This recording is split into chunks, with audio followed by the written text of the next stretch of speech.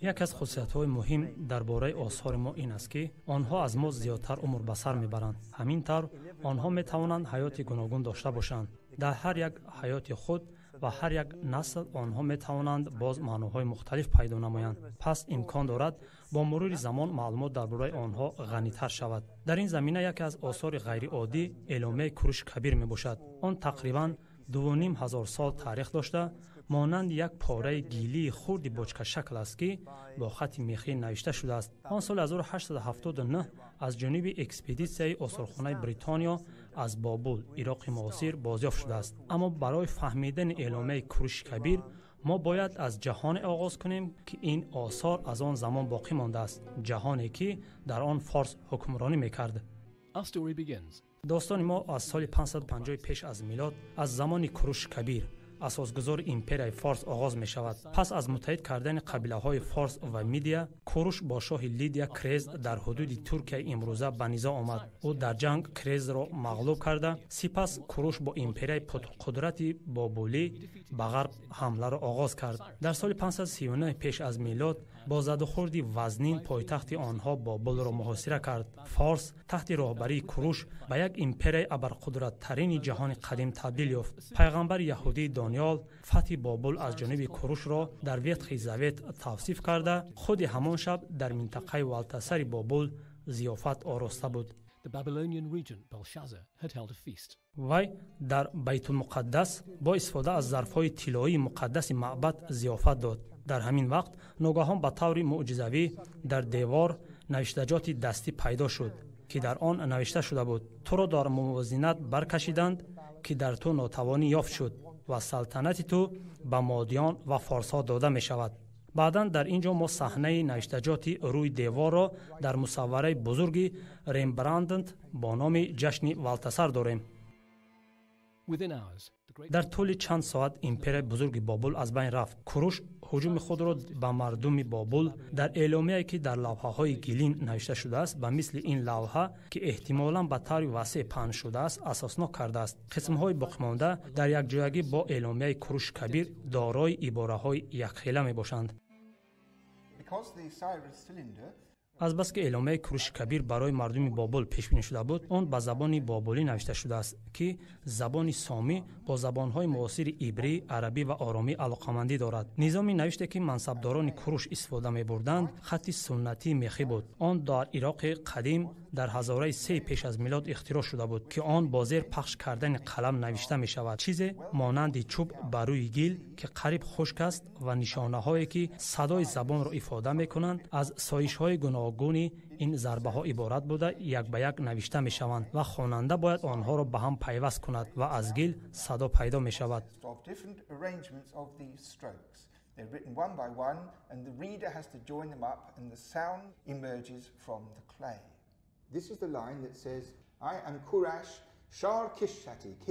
این سطر است که در آن منم کوروش شاهی جهان شاهی بزرگ شاهی دادگر شاهی بابل نوشته شده است و همین طور دوام مییابد. حالا ما کوروش را می نویسیم علامت اولی کو دارای عمودی کلان دو خطی افقی خرد یکی خطی افقی کلانتر کمی عمودی و دیگری خطی افقی مثل قوطی است. این کو است.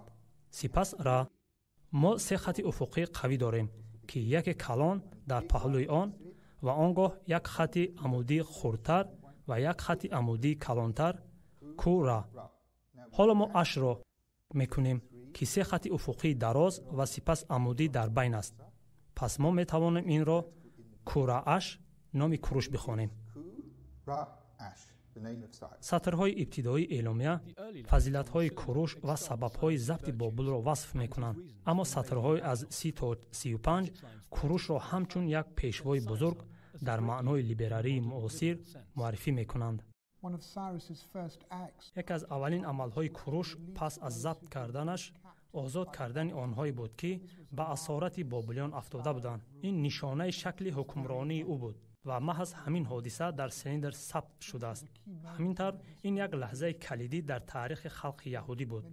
онҳо солҳои зиёд дар назди дарёҳои бобул ашк рехта буданд ва ҳоло ба онҳо иҷозат дода шуд ки ба байтулмуқаддас баргарданд ва сипас маъбадро барқарор кунанд.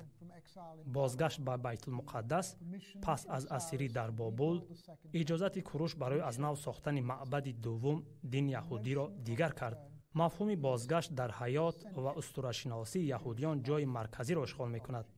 Маҳз давид бенгуриён навишта буд? Куруш нисбат ба рақибони худ рӯҳияи хайрхоҳона ва нисбат ба ҳама динҳо таҳаммулпазирӣ беҳамто зоҳир мекард. Вай дар бозгашти аввалин ба сиён нақши ҳалкунанда бозид ҳарчанд империяи куруш дар ниҳоят пароканда шуд аммо ғояи худи куруш боқӣ монда куруш ҳамчун ҳокими намунавӣ ном гирифтааст. Сарчашмаи асосии ин нуқтаи назар оид ба куруш аз муаррихи юнонӣ ксенофонт омадааст. Дар китоби ӯ киропедия воқеан дар бораи чӣ гуна идора кардани империя ки куруш ҳамчун намуна буд сабт шудааст он дар тӯли эҳё ё худ ренессанс ва махсусан дар байни падарони асосгузори амрико хеле машҳур буд ва мо медонем ки ҷефферсон ду ё эҳтимолан се нусхаи зиндагии куруши ксенофонтро дошт ва аз он мунтазам истинод мекард аз ин рӯ байни эъломияи куруши кабир ва сохти иёлоти муттаҳида رابطه مستقیم وجود دارد امپرای فارس که از جانب کروش کبیر تاسیس داده شده بود در زمان حکمرانی داریوش به اوج نهایی خود رسیده است از لیبیا در بحر میانه زمین تا وادی هند در پاکستان معاصر طول کشیده است این ابتدای ایده شرق نزدیک است که ما امروز با آن زندگی می‌کنیم. وقتی که ما واژه های شرق نزدیک شرق میانه را استفاده می‌بریم سخن محض درباره منطقه می‌رود که در آنجا امپیر فارس بود. دیوارنگاری در پس من بوده یک نقش از دیوار قصر شاهانه در پرسپولیس پایتخت فارس ها می‌باشد. در آن خلق های گوناگون امپیر نشان داده شده است که ارغمان های مختلف را میارند ин як рамзи комили гуногунии империя мебошад ҳар як қавм арғумонҳои хоси худро меорад ва императорони форс ба фарқ аз дигарон мардумро ба як шеваи мавҷудият ё рафтори хоси худ маҷбур насохтаанд баръакс ин империя имкон дод ки одатҳо қолабҳо забонҳо ва эътиқодҳои гуногун бо ҳам зиндагӣ кунанд он намунаи бузурги идора кардани империяи гуногунтаркиби сарсон гардид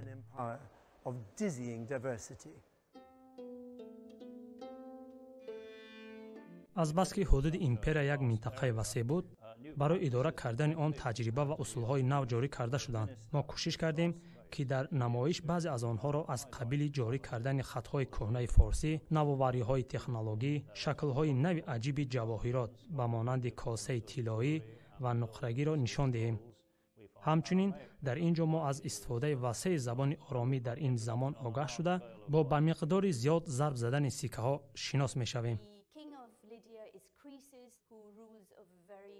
ин подшоҳи лидия крез аст ки бар як миллати хеле пешрафта ҳукмронӣ мекард ва куруш сикаҳои лидияро дар нуқра ва тилло дида онҳоро писанд мекунад ва сикаҳоеро ки мо онҳоро крезӣ меномем истеҳсол мекунад. Дар ин сикаҳо нишон дода шудааст ки шер ба гов ҳамла мекунад ва ин навъи зарб задани сикаҳо то замони дориюш дар соли 522 идома меёбад дориюш зарби сикаи комилан навро бо номи худ дарики тиллоӣ оғоз мекунад.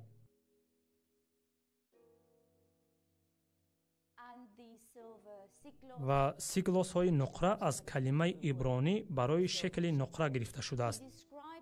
Ӯ худро ҳамчун камонвару аспсавори бомаҳорат ва найзачии моҳир тасвир кардааст. Пас ин тасвири камонвар дар тангаҳои ӯ чизе аст ки خواسته است تا فارسا از آن آگاه شوند.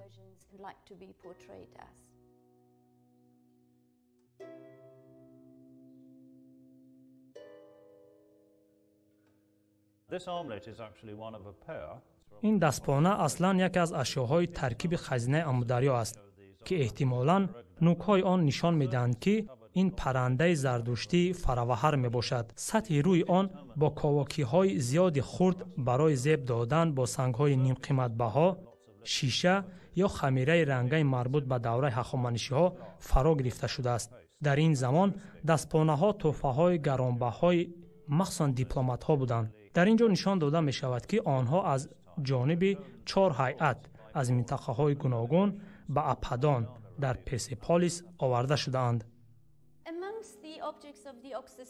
در میان اشیاهای گنجینه اکسوس یک چند اشیاهای جالب در شکل لوحه‌های طلایی موجودند. این نفران سرپوش ملایم دارند که شاید از پشم نمیده ساخته شده باشند.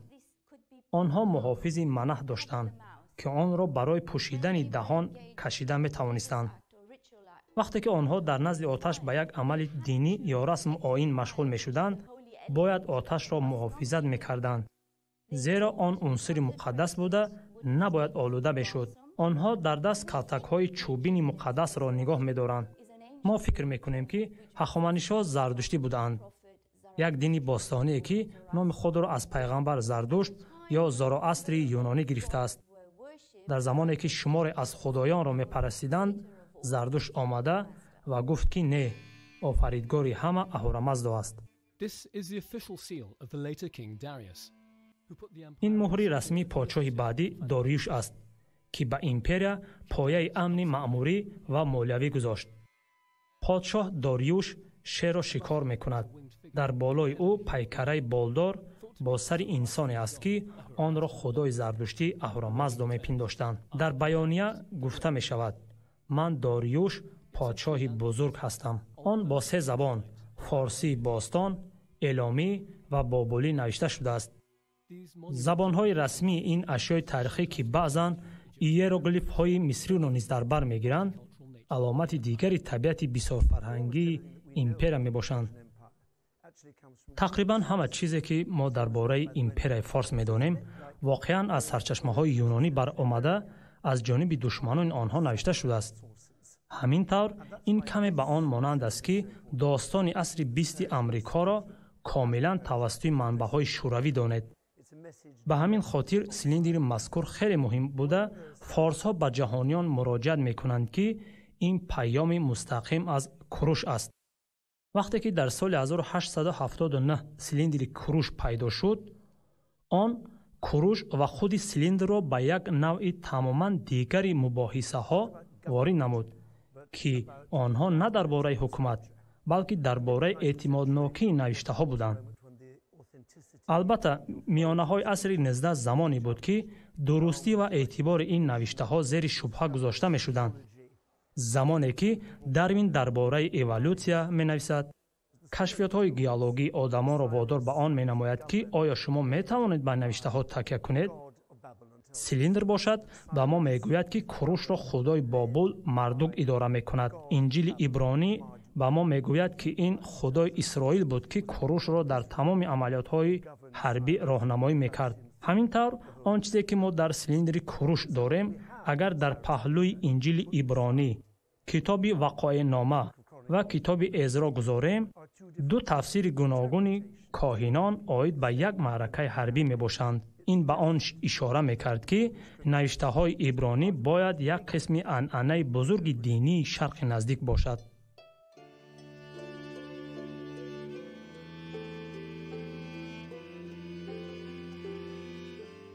Лозим аст ки дар бораи лаҳзае фикр кунем ки як форсӣ яҳудиёнро озод кард ва ба онҳо имкон дод ки ба байтулмуқаддас баргарданд